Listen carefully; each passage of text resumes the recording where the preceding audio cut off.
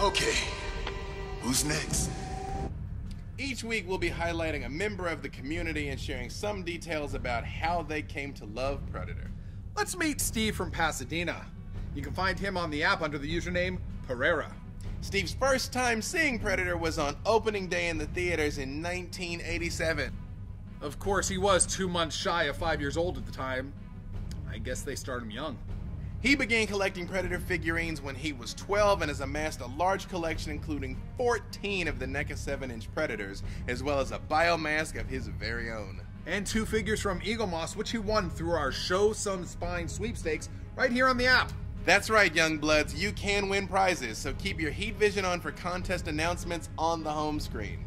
Final fun fact about Steve he likes to draw Predator too.